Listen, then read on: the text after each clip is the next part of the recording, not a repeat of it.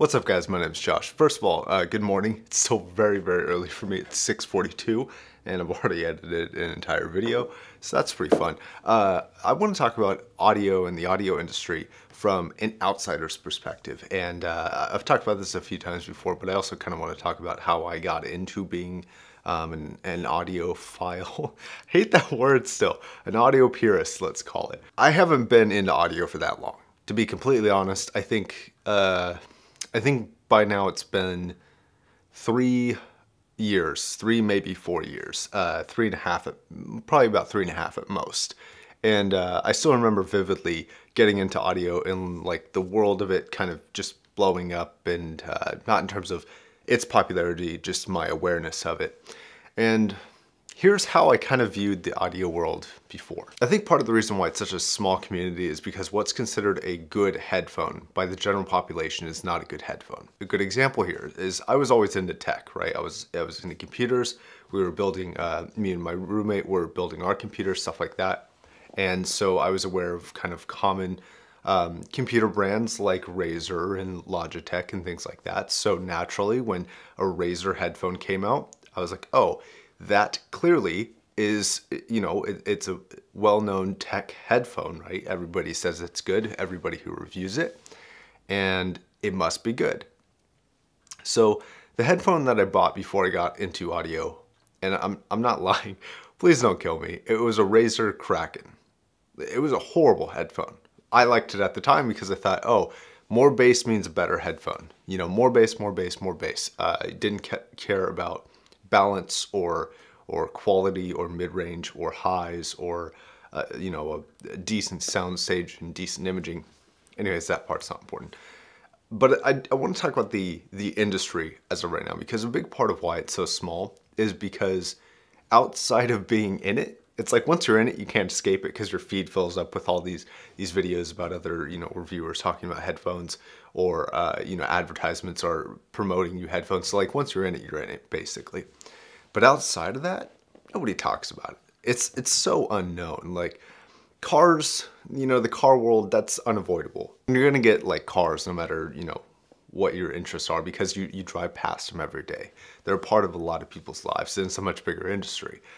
But with audio, with audio, people don't know.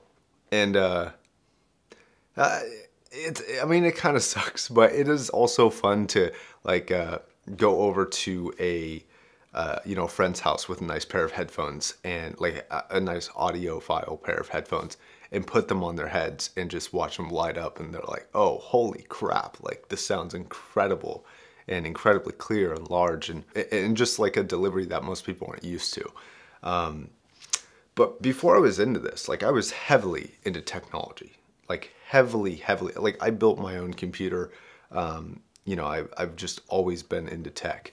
Um, at the time, I was really going on like a gaming mouse kick. But speaking of gaming mouse, I, I know I said I was going to review them, but I, I kind of thought about, and sorry, I'm going off on a tangent here.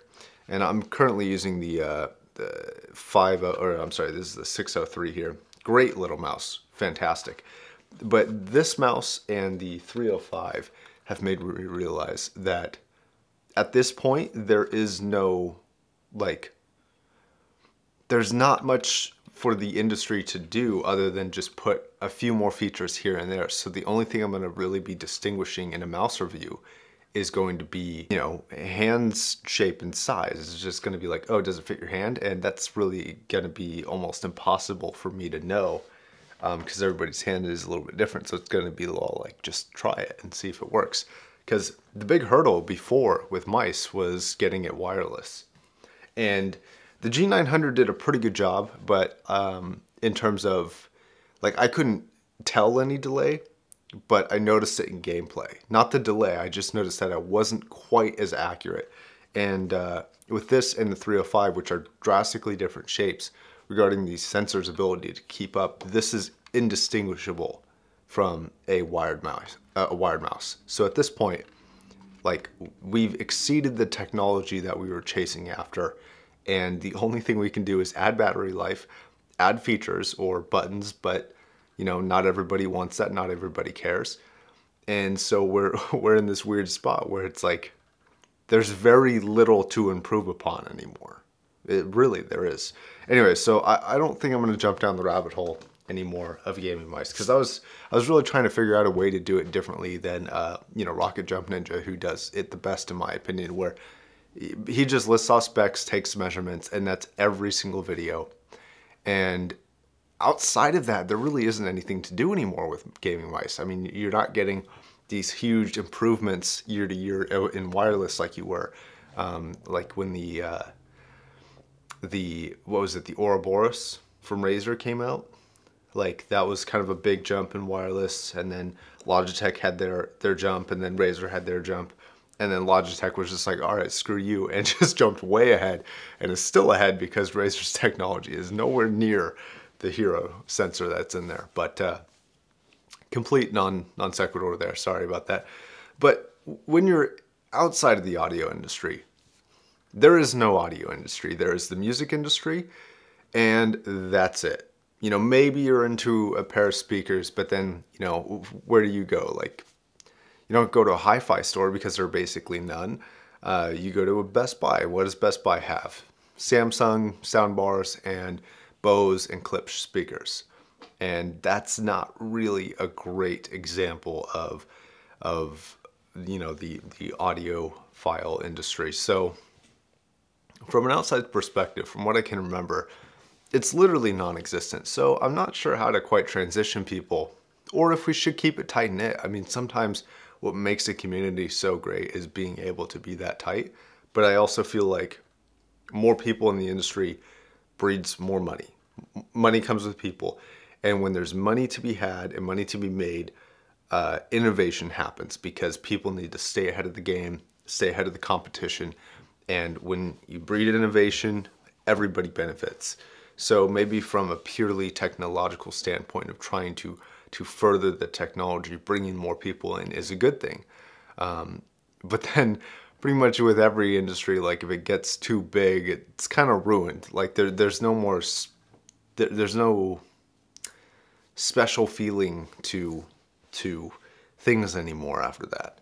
Um, you know, like the the gaming community is just toxic, so so toxic, um, and you know, so are some parts of the audio industry, no doubt. I mean, I'm not saying that at all, but uh, I think we, you know, you and I have a pretty good little pocket here where, you know, we've kind of strayed away from that stuff, and I think part of that's the way that I've structured this channel, and then I think another part of that is just, you know, just not falling into into some of that stuff myself um, and then you know people like like-minded people. So you know any pretty much a lot of people who think like I do and approach things the way I do subscribe to the channel or you know obviously it's not a binary thing it's a spectrum. You, know, may think a little bit like me or a lot like me um, but it's very interesting. Um, and so how this got me into audio my, my grandmother passed away and uh, she left me like a little bit of money. It wasn't it wasn't like a lot. It wasn't enough to buy a car or down payment on her house or anything like that.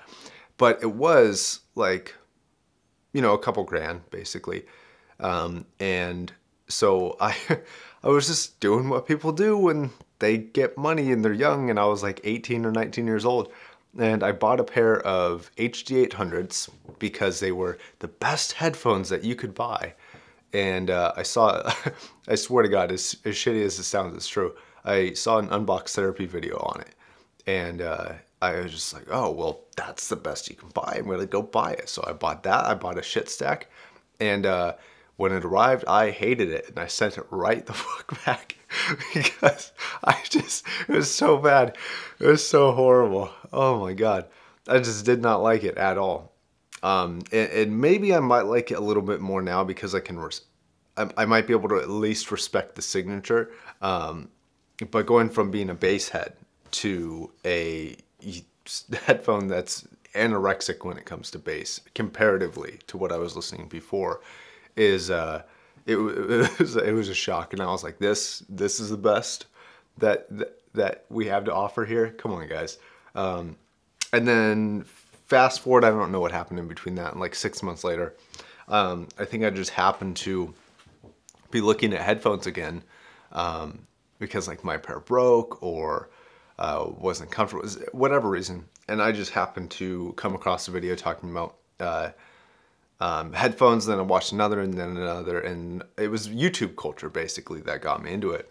And then I ended up settling on a pair of HD600s, and I can't remember why. I think Z may have played a part, but I can't exactly uh, pin down that that narrowly as to who got me into it specifically. But it was one of the the audio reviewers. They, and then, I don't know, something happened. And so I ended up buying a pair of HD600s and I just love those things to death. They are still my favorite uh, headphone. In fact, I'm considering buying either those, the 6XXs or the uh, 660s because that sound signature just sounds so good to me.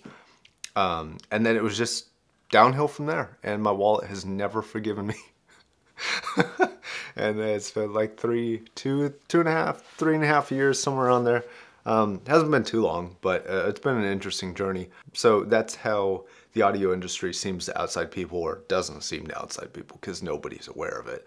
Um, even now, I don't think I've ever met and talk to a person in real life that like I didn't is like I've never talked to a person that I didn't meet over the internet about audio. Like all of my audio friends, everyone I have ever met has been through through YouTube.